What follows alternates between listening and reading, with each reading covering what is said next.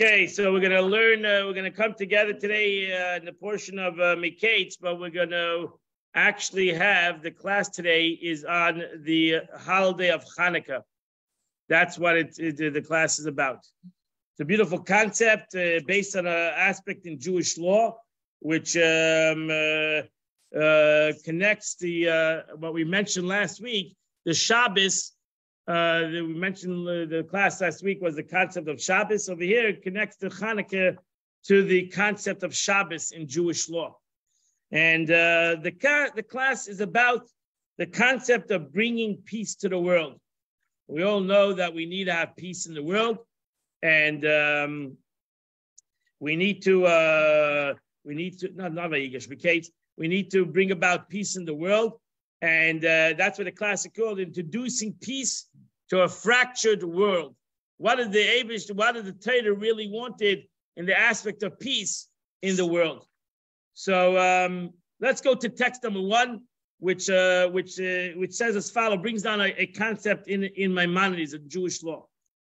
Um, we cannot imagine this law today uh, because it's an interesting law, and we should never uh, have this problem. Baruch Hashem, most people don't have the problem because you have Chabad, and we'll give you it for free. But um, in Jewish law, there was times in history where things were very scarce. It was not something you could find every day, oil and candles and uh, etc. So the Gemara, the question is asked, if you had a choice between lighting up your home in honor of Shabbos or lighting the Hanukkah candles, this Shabbos, it came this Shabbos, and you don't have enough money for oil for Shabbos and oil for the, uh, uh, uh, for the Hanukkah what do you light? What? So the loch is you light up the home, you get if you only have enough money for the candles of Shabbos or for the candles of Hanukkah, the law is you light the candles of Shabbos. So Shabbos pushes off the uh, Hanukkah menorah. And why? So Allah says, because the lighting of your house on, on Shabbos brings peace. That's the reason. Shabbos, the reason why we light the, the Shabbos candles is because of peace in the house. Peace is the highest priority, evident by the fact that God's own name is erased to create peace between a husband and wife, right? In the law of Sota, in the law of uh, Sota, the, the Torah says that when there's a struggle between a husband and wife, what does God say? I'm willing that you write God's name on a, on, on a parchment and you dip it into water, it erases God's name, etc. So you're not allowed to erase God's name in any any aspect in Jewish law. You know, you have to, to, to bury it. You have to. Uh, but here God says, "I allow you to to erase my name for the sake of peace." So we see that peace trumps everything. We know the expression like God couldn't find a better vessel than the vessel of peace. So therefore, again, in those days, going back to time, going back to a little back in history, with this law with the Maimonides, in those days, thousand years ago, there was no electricity, right? So what gave the light in the house was light, candles, right? If you were poor, candles, right? If you were poor, came at night, your house was push and dark. That's it. Came at night, maybe that's uh, he went to sleep because the house was dark. Simple as that. The Abisha says, I, I, you can live a whole week in the dark. On Shabbos, you need to have light in the house. You got to light Shabbos candles. It's a mitzvah. It's not a mitzvah to light Shabbos candles on Sunday, Monday, Tuesday. Live in the dark. Shabbos, I want to have some uh, some people sitting down together at the table. I want to have some peace in the house and therefore you need to light the Shabbos candles. And therefore, if you have enough money to buy the candles or the menorah, you buy the candles, and that's what you do the mitzvah. Peace is of primary importance, for the entire Torah was given to introduce peace in the world. As it states, the ways are pleasant and all the paths are peaceful. Torah was given to bring peace between humans, bring peace in the world, and that's why it trumps over everything. You said it trumps over the Hanukkah menorah lighting. You you write. So therefore, The Gemara says, Rashi, in text number 2a, the Gemara says we light candles on Shabbos because, fa- for, because the family would be distressed to sit in the dark. Because there's an obligation to sit down on Shabbos to a Shabbos meal. If you're going to have it in the dark, self understood, it would bring about unhappiness. So it's a rabbinical enactment, not only to light Shabbos candles, that's why on Shabbos rabbinical, the rabbis enacted even furthermore. If we need peace, is not only peace in, in, in, in, in the dining room, you should light a candle in every room. Yeah. You should be light in every room that we enter, that we enter on Shabbos to enable peace in the home so that people will not stumble on the wood or stone. The primary mitzvah to light candles near the dimmel table. That's where that that's where we eat. But really, you should go a step further. Make a bracha on, on a, but there should be light in the house. Light in the bathroom and light in the kitchen and light in the, in the bedroom. Should be lights. Days they were, they were more careful than us, okay? So that's an interesting thing. So the lights of Shabbos, there was no fire departments those days, Baruch Hashem. So they didn't have any any any any uh, issues with the uh, okay, Baruch Hashem. Baruch Hashem, life has changed. We have electricity. But we still light Shabbos candles because we still because that's the mitzvah. The mitzvah is to light at least, and that's why we light it up next to the table or on the table. You light your Shabbos candles. So, but really, the mitzvah to light candles on Friday night was for the concept of peace. The aspect of the menorah, self-understood, has not, nothing, really seemingly nothing to do with that. You're actually not allowed to have any kind of pleasure from the light of the menorah. You're not allowed to use it. You say it in Haneiros Halalu. You're not allowed to enjoy the light of the menorah. You're not allowed to use the light of the menorah. You're not allowed to enjoy the. It's not made for that. It's not made for to bring peace in the house. It's not made to be, be able to see in the house. It's made for the mitzvah.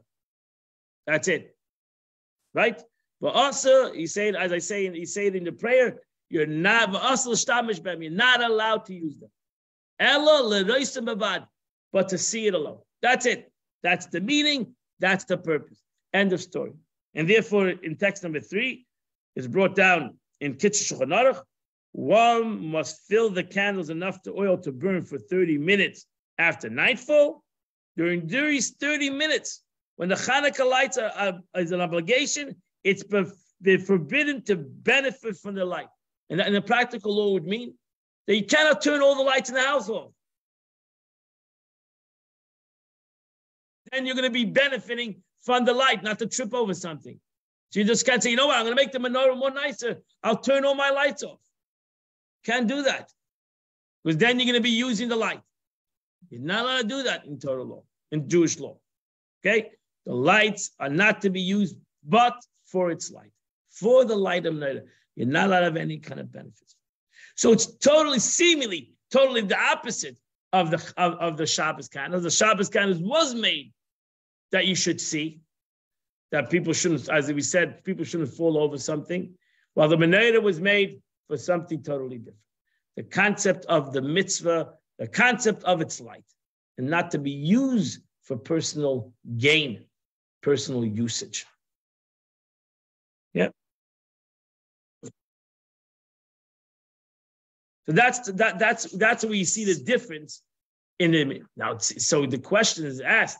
So that's beautiful. It's a beautiful. It's a beautiful lesson. Peace trumpets all. But the truth is, if you think about it, you're in essence saying peace between people is more important than a mitzvah between us and God. right? Right? That's interesting. So the meaning, in essence, I'm pushing off one thing for the other. Why would I push off one mitzvah for another? Where do I? Why? Why does that? Why would I say such a thing? Really, the question is, why would I say such a thing? I mean, uh, and, and now you evaluate how much peace. Maybe uh, uh, let's say we're in peace, right? We're in peace. So uh, oh, and I have just the the menorah. Let's say I, I love my wife. We're very happily married, and everything is wonderful. And uh, so why would I push off the menorah? I have peace. So I don't do. I don't have the, the, the Shabbos to bring peace. And Baruch Hashem, we're peaceful. So uh, why would I need the menorah? Why would I need the Shabbos? Why shouldn't I light the menorah? It's a mitzvah. Uh, it's beauty of the candles. A mitzvah. God wants me to light candles. It's a mitzvah. So why would I push it off?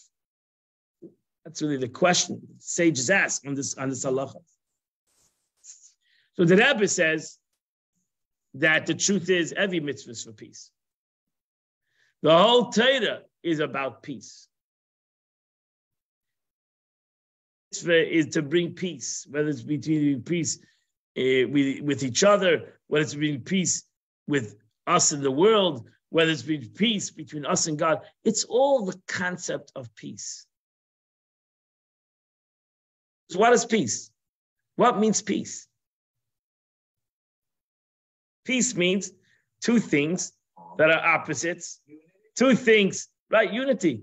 Two things that are that are that are, that are maybe opposites, maybe are different, and we're gonna bring peace for them. We're gonna bring peace. Peace is, is something that you do between enemies. if we right, we, we, we don't need peace in a in a peaceful situation. Peace is when there's a, there's a conflict. We have peace.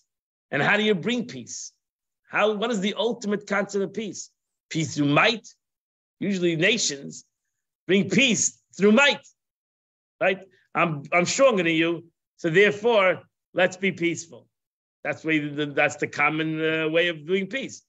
I have the uh, right. Do you want to have peace between nations? We both have to have to. We both have to have uh, atomic uh, power, right? So basically, we have peace because it's not worth to go to war. Really, we hate each other, and if we had the if we had the possibility to go to war with each other, we would. But you know what? It's pushing not worth it. Why? Because I'll kill you, you'll kill me. So what, what are we going to gain out of this situation? And the point is to kill you, and I survive. So, so it's, it's, it's a peace through power. We don't like each other. And we see that in the world today, right? Because in general, we want peace. We want peace. The world wants peace. Baruch Hashem. There were times, you look in history, there were times there were 100, 200 wars going on in the world at a time.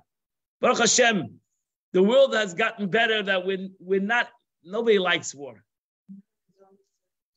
32. Okay, we're going down, coming down, coming down. Why? Because the world's against, against war. Listen, we created United Nations officially to create an aspect of human understanding, peace. We don't want war. Everybody should live by their boundaries. Everybody should live in, in, in, in, in respect of one another we want that more. Peace, war is not something that, that humanity likes anymore, Baruch Hashem. Usually in the past, war was a day to day part of life. okay, listen, we're not we're not messianic times yet, so we have to have a war here and there. That's life. It's, it's the way it is. It's the way it is. It, it, it's almost it's part of humanity. Again, you, you had to go out to war with each other. It's almost, almost a mitzvah uh, to, to go out to war with one another. Baruch Hashem, we've gotten to a better place. But the Abishter brought to the world with giving the Torah was not a, itself is not a, the Jewish people. What the Abishter brought to the world is how to be peaceful, how to have peace, how to not not only not go out to war, but how to actually bring the concept of peace in the world. So therefore, the Rebbe writes in text number four, all mitzvahs are interconnected in a complete oneness. Our sages taught that one must never weigh one mitzvah, Torah mitzvah, against another. There's no war between one mitzvah and another mitzvah. You can't look at it like that way. You shouldn't look at, at, at there's, a, there's a complication. We have a complication, and how do we come? How do we rectify this complication? Not that you think there's a complication in your life is already not a good thing that you, that you are in struggle, like the expression of Talmud. God doesn't ask somebody for something he cannot do. If the Abish asks you for something, he's not looking for complications. He's not looking for war. God is looking for war. Oh, I know humanity is not going to want to do it, so therefore I'm going to ask him to do it. Now we're going to have a fight. He wants peace. God wants peace. That's why, in essence, God didn't want that's expression in, in, in, in the Siddur. The Abishter wanted to give merits. He didn't want to create havoc. He didn't want to create complications. He wanted to create merits. Merits. God wanted to give merits to the Jewish people. Therefore, he gave them the Torah. Therefore, he added them. He didn't want to add a mitzvah. Okay, now let's have a complication. You can do it. You can do it. I don't want to do it. I'm struggling with it. Why? Why are you struggling with anything I asked you to do? I would say, you know, the difference between a person who you you you ask when a person asks you, uh, can you can you schlep a, a, bag of stones across the across the across the room, uh, across the across the can you schlep this bag of stones? I'll give you half of it, right? Well, I don't want to schlep a bag of stones. I don't want your half of stones. I don't want a half of it. I don't want any stones. But if he says, drag a bag of diamonds, same pound, same weight, and I'll give you half of it. I'll give it to you totally. You're going to say, Oy vey. You're going to say, hey, I don't want to do it. How far do you want to stop? Give me two bags. Pile it on. Why? Because it's a merit. I'm to get, I'm, I'm, it's a merit. I'm to zechus. That's a merit. I look at it as a meritorious. The Abishter didn't give us nothing that is complicated. He didn't give us stones in our life. He didn't give us challenges in our life. The Abishter wanted to bring peace in our life. He wanted to be able to create an aspect of harmony. Harmony. And therefore, you have to look at the whole Yiddishkeit as a harmonic situation. Harmony between the body and the soul, harmony between each other, harmony between us and God, harmony. We need to look at every every every mitzvah. Who created us? God. He knows exactly what's going to bring harmony. Now look at this. We have harmony in the Jewish nation. We all do mitzvahs the same way. Better harmony between all people is that we all do mitzvahs the same way. We might have different thoughts in the mitzvahs. We might have different understanding, but we all do the mitzvah. We all do the exact same thing. So in a way, we're all the same. In that aspect of action, we're all the same. Some might be smarter, some might be more holier, but it doesn't make a difference. Moshe Rabbeinu put on tefillin like I put on tefillin. Rabbeinu, like it says, Moshe Rabbeinu would be uh, comfortable walking into shul because he davens like, like all of us daven. Moshe Rabbeinu put on tefillin. What's a, what's a shocking statement? He put on tefillin like I put on tefillin. Because how do I know what Moshe, how do I know how to put on tefillin? Because Moshe Rabbeinu told us how to put on tefillin. So exactly the same tefillin that I'm putting on, it's not exactly, my tefillin are not 3,000 years old, but uh, the exact tefillin it's exactly like me. It was a box with four portions. It's exactly what I have written in, in my tefillin. It's exactly what Moshe Rabbeinu had written in his tefillin. And that's the beauty. That's the unity. That brings peace, right? If everybody would do something else, if we would have a religion that everybody did something else, you would have a rat race. Who could do it better? Who can make the most beautiful tefillin? Imagine if everybody would be able to make their own pale tefillin. We have neon tefillin, gold tefillin, silver tefillin, you know, everybody would have another pair of tefillin. No, we also all the exact same black box with black straps, and so to every mitzvah. So to, to the beauty of every mitzvah. I would say this, George, one must never weigh one Torah mitzvah against another.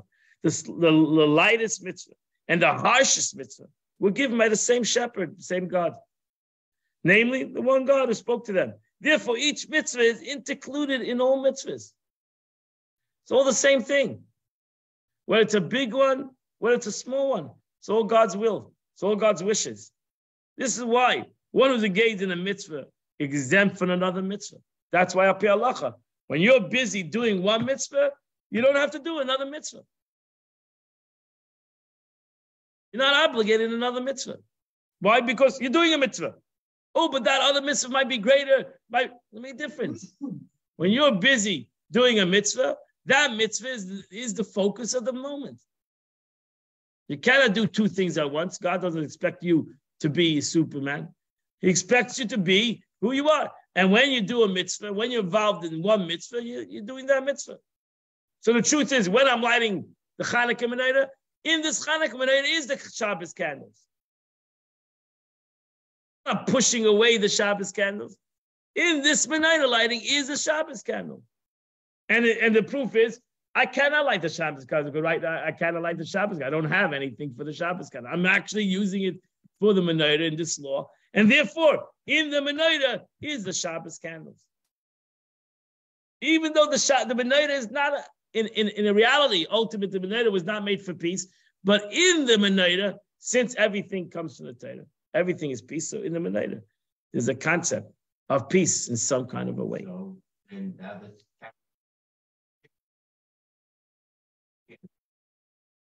Right. Because I'm sorry. So in the I, I I flipped it over. In in in in I'm sorry. You're right. In the Shabbos candle is the menorah. You're, listening.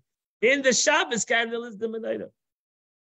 Because the menorah, the Shabbos candle is peace, but it's also a concept of life. So in the in the I, you could I could say it either way. But halacha you cannot do both. So therefore halacha is like Shabbos candle. Finished grandmother would say, with one tuchus, you can't dance at two weddings. Correct.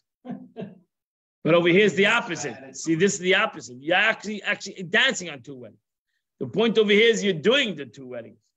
By lighting the Shabbos candle, you're doing the two weddings. You're doing both. one's included within the other. That's the concept also. For example, if some and Kippur you have to fast. But if you have to eat, it's not like you're breaking the fast eating on Yom Kippur when you have to eat is, is, is keeping Yom Kippur. Mm-hmm. That's as if you're fasting because you have to eat. So in the mitzvah, there's a mitzvah to eat in pikuach nefesh where you have to eat. It becomes a mitzvah to eat. And now it's not like you, you're pushed off Yom Kippur. No, you're keeping Yom Kippur by the eating because now the mitzvah is to eat.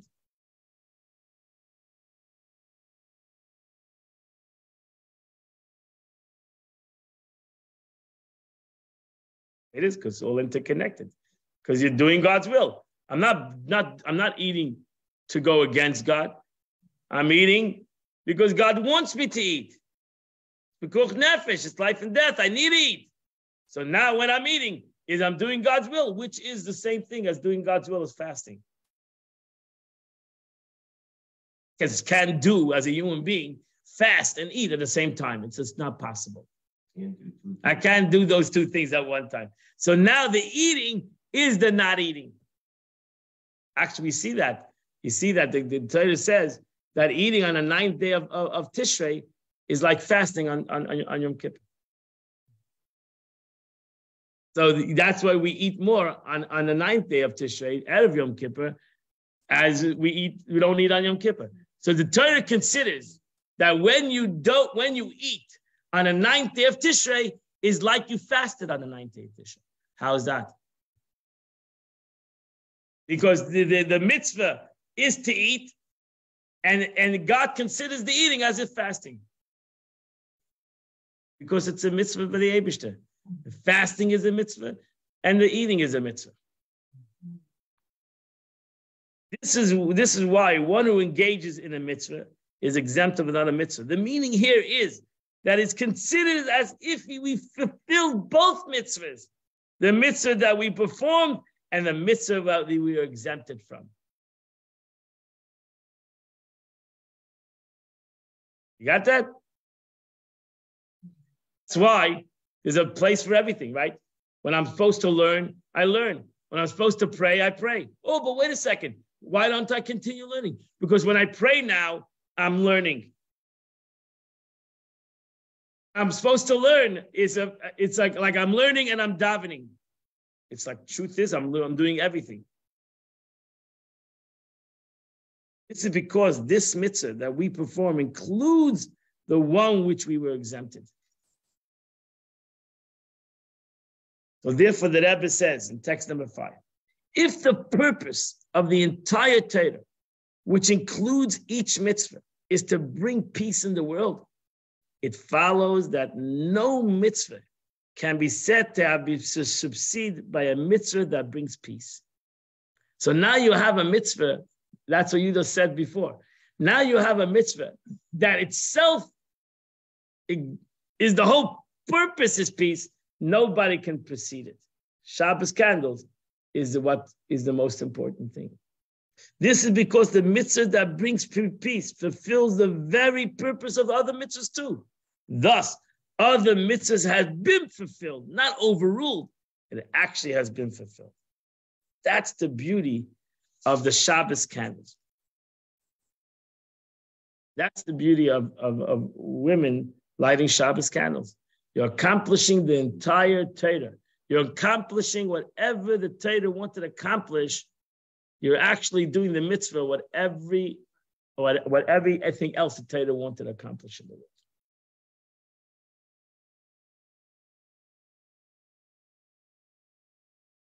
Well, let's go to Maimonides. He brings it Maimonides. He wants to prove that uh, that that also in the mitzvah of the menorah is the concept of peace.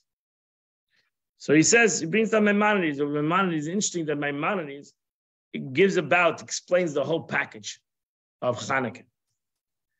Text number six, page one seventy eight. In the era of the Second Temple, the Greek kingdom issued decrees against the Jewish people, attempting to nullify their faith and forbidding them to observe the Torah and its commandments. They extended their hands against their property and their daughters. They entered the sanctuary, wrought havoc on it, and made the sacraments impure. The Jews suffered greatly under them, for they oppressed them greatly until the God of our ancestors had mercy upon them, delivered them from their hands, and saved them. Son of the Chashmonoim, the high priest, overcame them, slew them, and saved the Jews from their hands.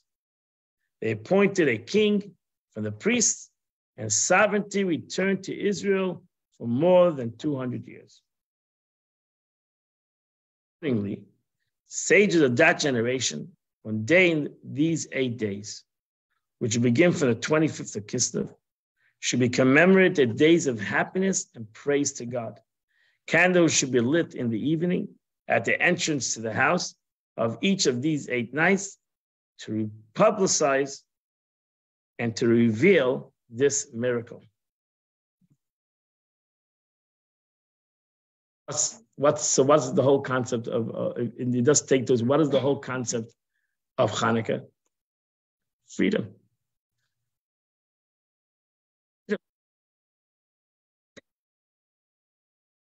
Peace.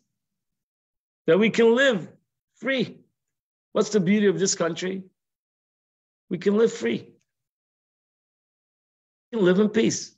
We don't have to worry about somebody wanting to attack us because I'll, to attack our mitzvahs. I'm not talking about anti-Semitism.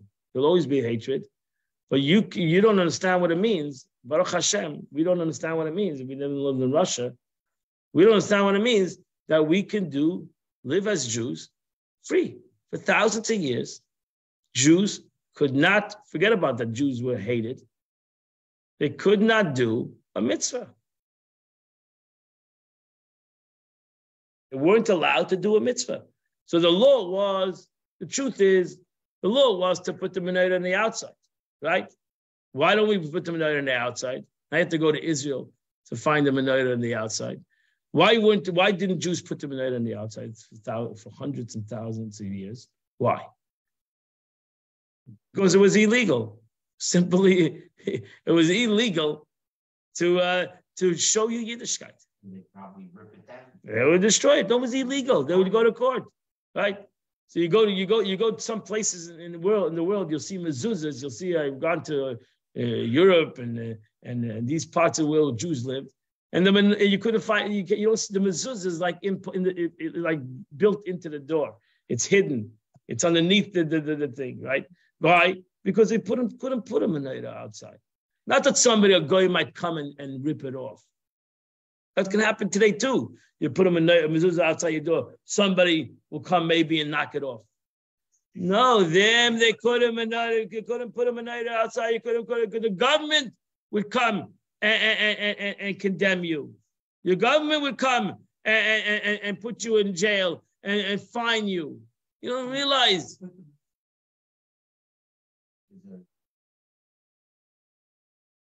On the door, you put it on the rock and you touch the rock. I never heard that. I never heard that. Mm-hmm. Okay. But here they used to hide the mezuzahs in part of the building. Why? Because not against anti-Semitism. It was partially illegal. So now Baruch Hashem, um, I don't know why in America they didn't establish it, but in, in Israel, you go to Israel, Hanukkah, you'll see menorahs outside, on out outside. Uh, they light the menorah. We on the outside, outside their house. Uh, all the menorahs are in boxes and they light it outside. Yeah. It's in boxes and they light it outside. Baruch Hashem. That's where you need to light the menorah, really. So, so why?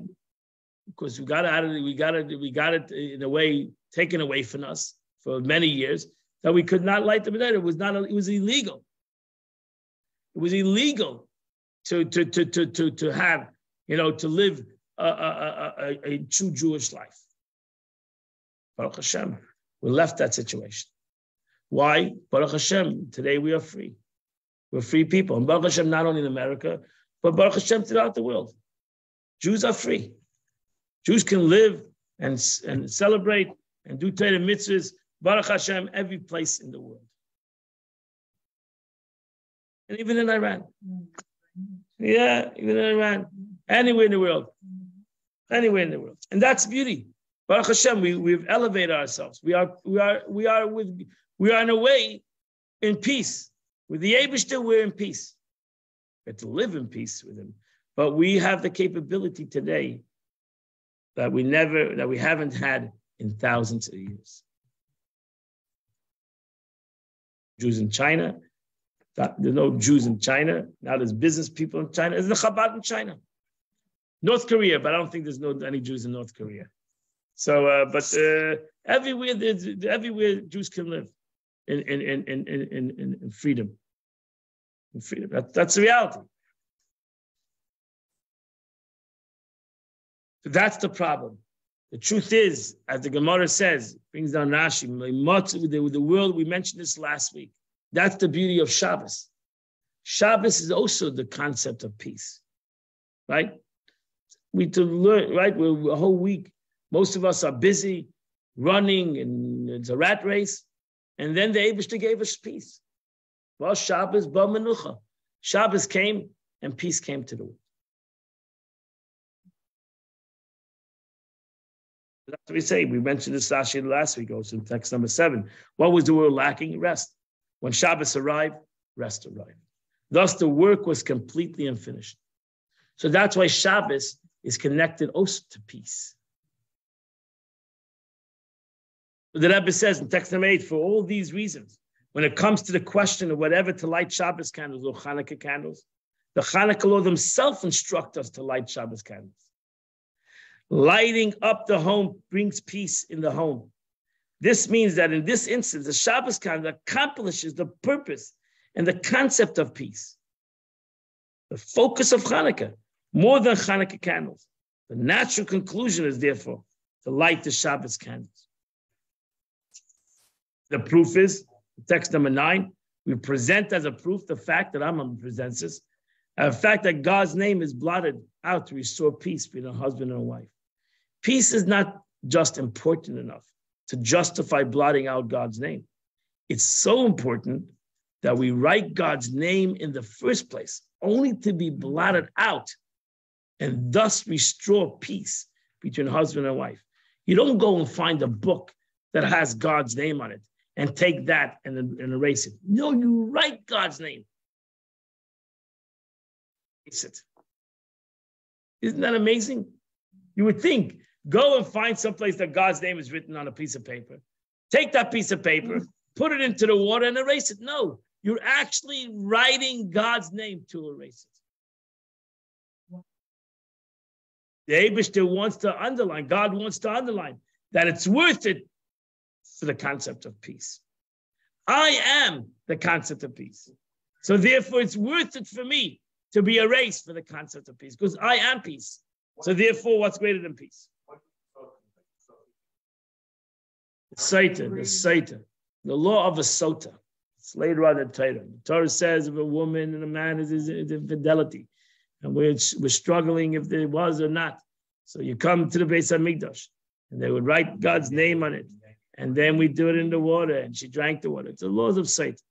So, uh, so over there, the Torah says the Kohen would write God's name on, on a piece of parchment, and he would put it into the water, and they would race the God's name. Yes. So, and she drank the water. If she didn't sin, she would have children, etc. So actually, the Gemara says nobody, there was never, never happened in history such a story. It was never a sota. The Torah writes, actually, the law really teach teaches what a relationship is. What's the beauty of a relationship? Not only between uh, husband and wife, but between man and, and man and humanity. Because, because when there's when there's peace between a husband and wife, there's peace between God and the world. So uh, therefore, God in essence says, it's worth it for me not that you should go find a, a, a, God's name written on a paper. I want you to write God's name right now for the sake of erasing it.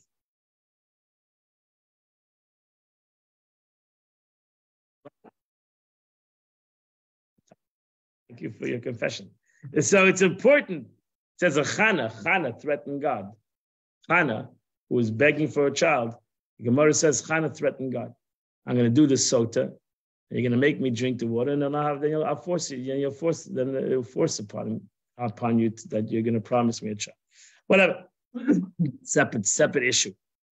This means that the mitzvah of writing God's name with all its inherent sanctity and intensity is only realized and manifested when it's blotted out to restore peace. Understand that? You got the word. That's a deep word. The says, you know what? You are going to write this name of God, which is going to bring about sanctity in the world. But it's all worth to bring sanctity into the world to be blotted out for the sake of sake of peace.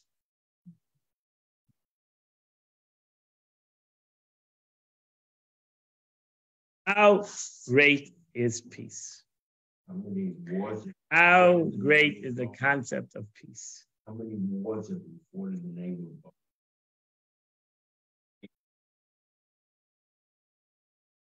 It's not the name of God. It's the name of selfishness. It's totally with selfish people.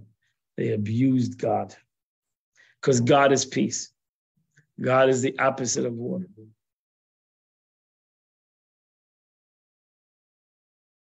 Well, what is peace? What is peace? You think about it. What is peace? Is many more than that. Have is yours, what I have is mine.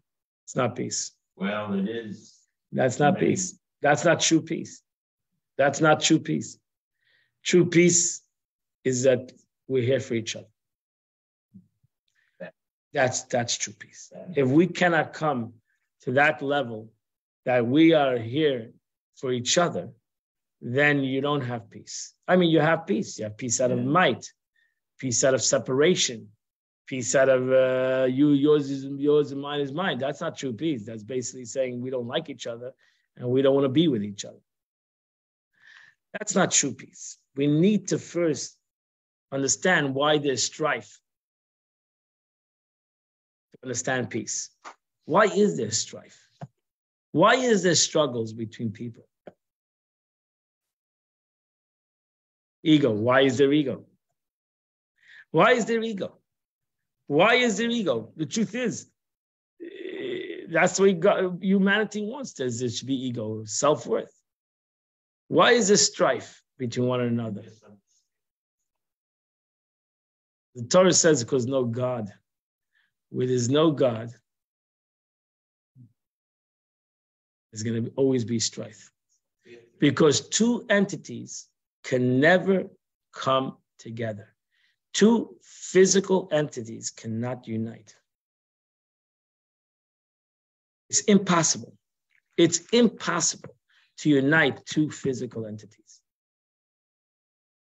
So, therefore, how can there be unity when it's impossible? that two physical entities to become one. The only way you can do that is if you put God in the middle.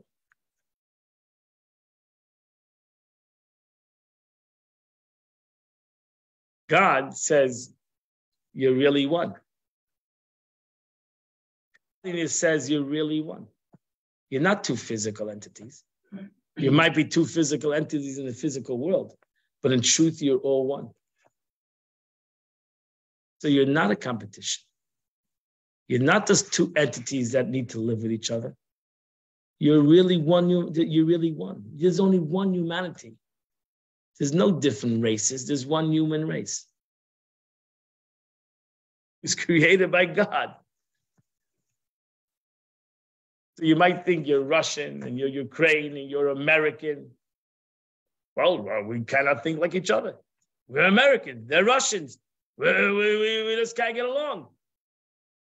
You're part of the same human race. God is the one who created you all to be Russians and to be Americans and to be Europeans and to be, if he wanted to make one country, then the whole world would be one country. No, he wanted different countries and different nationalities and different ways of life and different languages.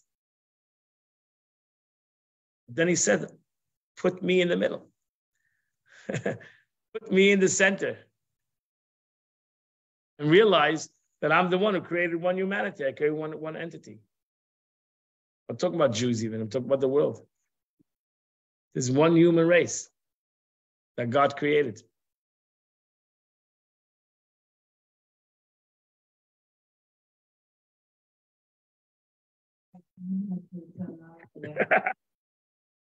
because we don't put God. It is a lot of that.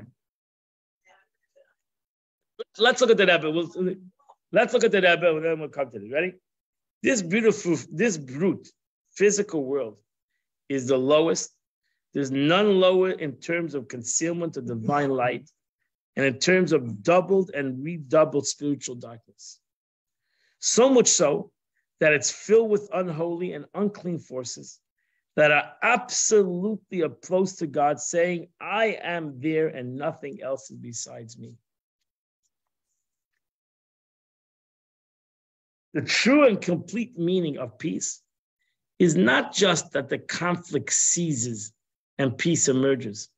Rather, it's a creation of an environment in which the very notion of opposition is simply impossible. This means that it becomes clear to us that another's existence doesn't oppose and is not even part from my existence. We are all part of one existence.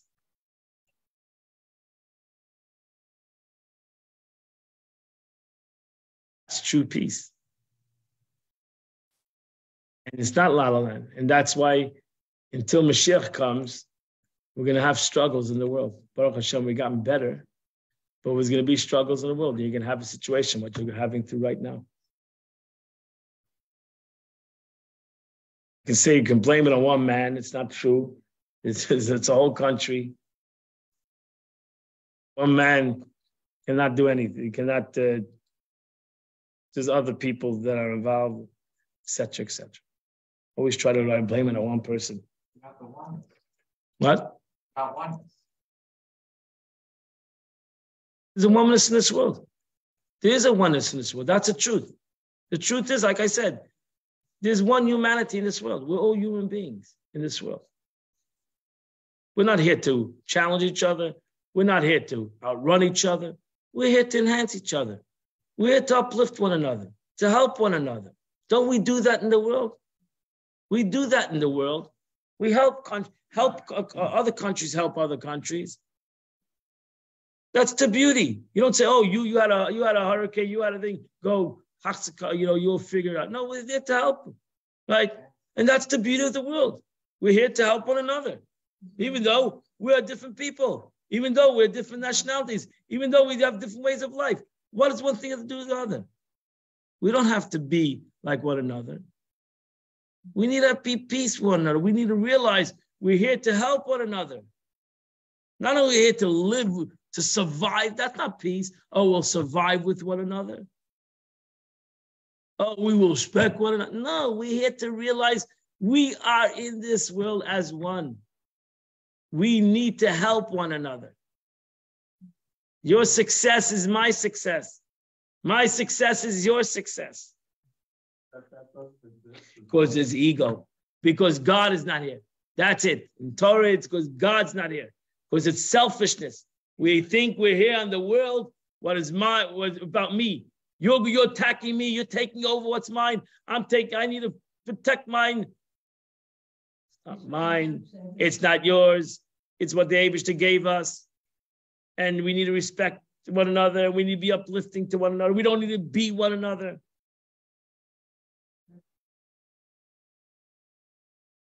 Hey, not only Israel, America helps everybody, and England helps everybody, and a lot of countries help everybody. Baruch Hashem. Baruch Hashem. That's how we're in the world to help each other. Not to sit back and say it's your problem. It's our problem. That's peace. When the, when the world comes together and says, we have a problem, not you have a problem, but we have a problem, then you have true peace. Sonnenfeld, they say the story of him. He brought his wife to the to the to the doctor, and he told her, he told the doctor, my foot is hurting. So the doctor said, okay, let's show your foot. He said, I didn't mean my foot, I meant my wife's foot. So he said, your foot is hurting. He said, my wife's foot is hurting, and my foot is hurting.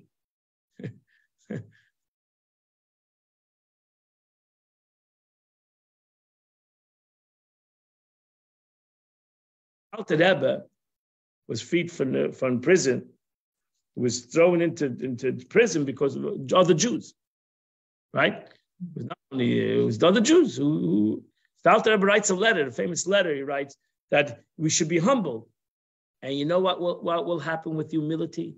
Maybe the those who are against us will also be inspired. That the others that are against us gave us so much pain and suffering. They should have a downfall. They should be uh, uh, you know, no, maybe they will be inspired. If we're going to come out in anger, so you no, show humility, show that this was a this was a this was a, a godly reality. The Baruch Hashem, maybe they will be inspired. That's that's that is the concept of not that they say, you know what, we won, you get out of here, you know, we won, you know, let's put you down. No, maybe they will be inspired. I want, I want these people to be inspired. If I'm inspired, I want them to be inspired. That's humility. That your enemy becomes you. Not that you, you not, not that this peace. You go your way, I go my way. No, I want my enemy to, to become part of me. I want my enemy to, to, to feel like I'm I'm inspired.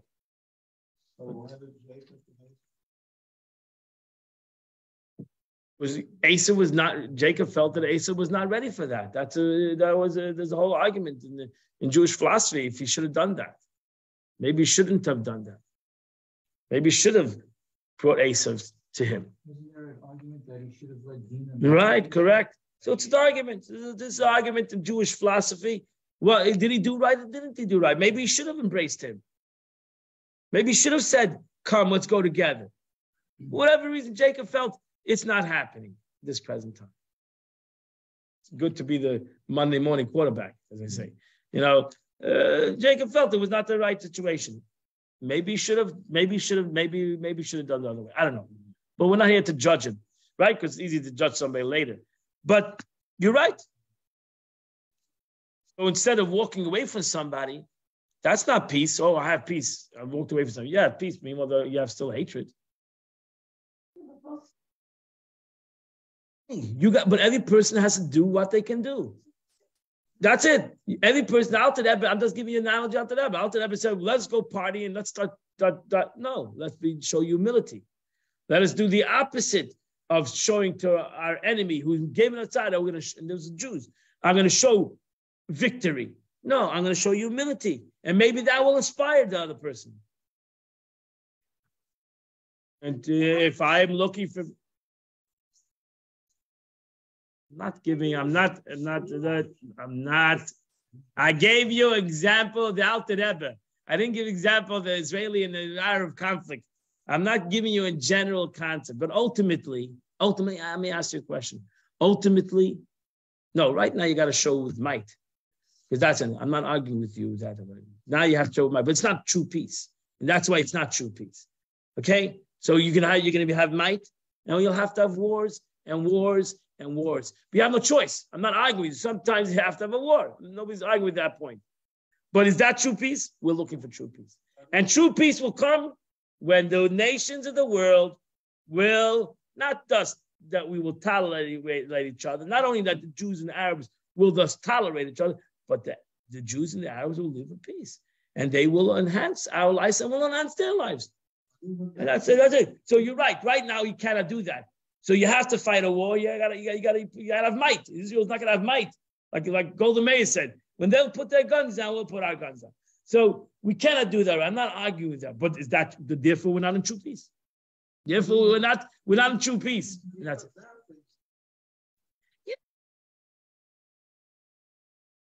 But it's not peace yet. We're not at the peace we're looking for, right? So you, so you, we're at peace. You know, we're strong. Israel's strong, Baruch Hashem. and They need to be strong because they're living in a rough neighborhood.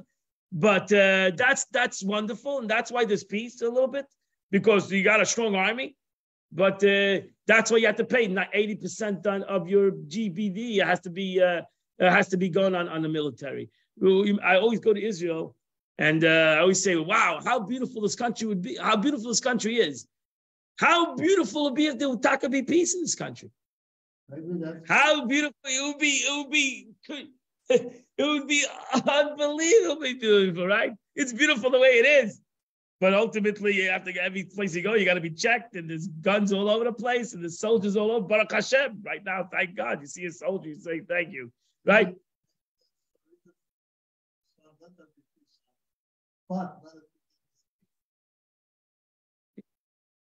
Oh, oh, uh, we say in davening, Shalom Aleinu.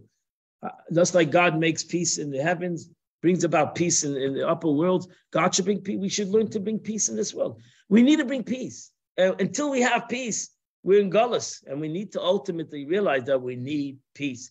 And peace is not that, like the Rebbe would say, peace is not that I want that all the, the Arabs should be dead. That's not the, that's not peace.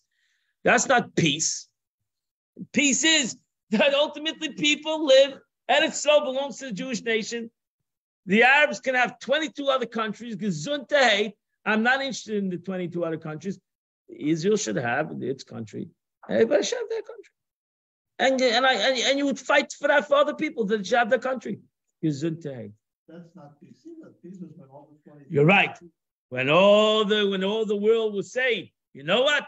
The Jews should live in peace and we're gonna enhance each other, we're gonna help each other, we're gonna, we're gonna, we're gonna even the peace arrangements they have, uh, Jews have with the, with the, with other countries, it's a it's it's a it's a it's a very strange peace. It's so hanging on our things, and there's so many things that the Jews have to do to keep this this peace going. Okay, that's not peace.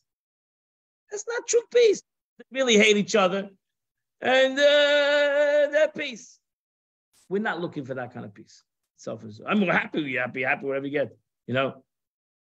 Like I always say, go to the Kosel. Kotel. I'm actually, I want to tell you people that Amid Shem, somebody's giving me a trip to Israel next week. So I'm going to be, uh, I got a gift. Uh, my wife and I. So uh, that's it. So, uh, so uh, you, you, go to Israel, uh, you go to the, everybody wants to, everybody wants to go to the Kotel. Everybody wants to go to the Kotel, right? They want to go to the Kotel. So you go to the Kotel. So we have a Kotel, a little wall over there. This is what we're happy about. This is what we're happy about, a wall. We're by a wall. the Beis Hamikdash is, uh, we're happy with a wall. This The uh, Jews, we're happy with a wall. We got a wall. We got a wall. Oh, we're all dancing. We're happy. We're all dancing. We're happy with all. Come on, give me a break. This is what I'm happy. Okay, I'm happy, but this is the true joy. Uh, I'm at the Kosel. There's a, there's a, uh, it's behind the Kosel that you have to uh, be happy with. This is the, but we came happy. That's Jews. Oh, I'm satisfied. Very good. We got the wall. Okay. We do. the wall is the wall. Whatever the wall is a great wall. I'm not don't don't uh, don't uh, don't. I'm not taking it away. But uh, but this is I know. But this is only the this is not this is not a, what is it? It's one percent of the the hundred percent that you're looking for. To have true peace. We cannot be satisfied with small pieces. And peace out of strength is not true peace. It's peace, but it's not true peace. It's not a true peace. Because the second other guy gets stronger, you have a problem. Or you get weaker, you got a problem. So it's not true peace. That's the problem. You'll always have to be stronger. It's not a problem. It's not a true peace. So the true complete, that's what the Rebbe says, that the true peace is that we feel that we're it, our existence is the other person's existence. I don't want the I don't want the unexistence of the other person. I don't want the other person to feel afraid. I don't want the other person to feel. Uh, I want the other person to live with me in total unison, total existence. That's true peace. And thus, the Rebbe right, this is a deeper meaning in saying the Torah was given to bring peace to the world. To reveal that the world and all therein is really the Torah, inherent part of God. It's the world's nature to conceal divine light. Godliness is not, is not openly vis- visible in the world. On the contrary, the world appears to be separate from God to the extent that it's possible to assume not only that the world is not an extension of God, but it doesn't really depend on God for its existence. It's possible to assume that this place has no master. This palace has no master. That God gave us the Torah to bring peace to the world means that the Torah makes peace between the world and God, as it were. The Torah enables us to recognize and, in, and intuit that the universe is not in conflict with God, nor does it conceal godliness that the universe depends constantly on God for its existence. Most importantly, that creation is merely an extension of the Creator. And that's the most important lesson, right? Merely, eh, merely, thank you. Merely, not merely. Merely, merely, merely, merely. merely. merely. What do you from my life? English is not my uh, language. So uh, it's an extension of the creator. That's that's what it is. That's what it's. So if to imagine if the world would realize that we are all, every the whole world is an extension of God.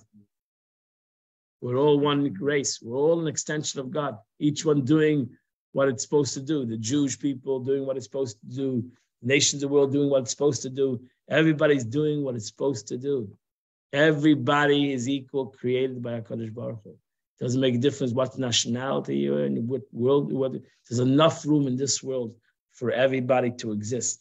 God didn't bring down people in this world and said there's not enough world. Not day, but you know, we say every day in, in, in, when we when we thank God for our food, we said kulay. God gives food for everybody in the world. There's enough food for everybody. It doesn't make a difference how many people there's going to be in the world. There's enough food for everybody in the world. If only if only humans would not get involved and, and keep people from from from from from eating in the world. The Abishta gives enough food, and God gives enough food in the world. God gives enough space in the world. God gives enough business, and it, the Abishta gives every person his worth, and every person is, is, is greatness, and every every person, the seven billion people, Eight billion. Eight billion people. God gives the capability and the potential and the health and the and the wealth and the to eight billion people. Enormous project, but Baruch Hashem, He does it without any help. He does it. He does it with kindness and with mercy. And God loves everybody. And we should realize that and we should bring peace between one another. And that's why the most important thing that women can do on Erev Shabbos is to light the Shabbos candles, to bring light of peace in the world. And maybe their one candle will bring light and peace in the world and change this world and teach the world that it's more important peace than the menorah. It's more important peace than the God's name. It's more important peace than anything else in the world because that is true God. We know the God's, the, the, God's name is Shalom. God's name is peace. So let us hope that through this uh, Hanukkah and mission this coming Shabbos will bring peace in the world, and there'll be peace in the world, and there'll be the ultimate peace, uh, the building of the Beis Hamikdash and the coming of Mashiach b'mheira b'yameinu mamish. Wish you all a happy Hanukkah and a wonderful, wonderful week.